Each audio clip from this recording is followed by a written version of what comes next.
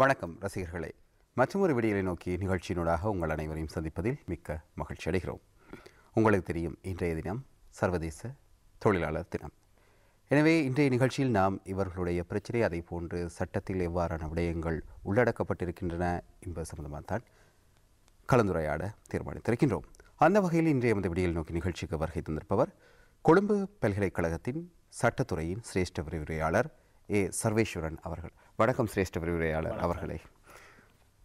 சிரேஷ்ட விரிவுரையாளர் அவர்களை நாம் இந்த தொழிலாளர் தினத்தில் அவர்களுடைய சட்டம் பற்றி கதைக்க வேண்டியது மிக முக்கியம். அப்படித்தானே? உண்மையில் இலங்கையில் இந்த தொழிலாளர்களுடைய பாதுகாப்பு சம்பந்தமாக எவ்வாறான சட்ட திருத்தங்கள் காணப்படுகின்றன?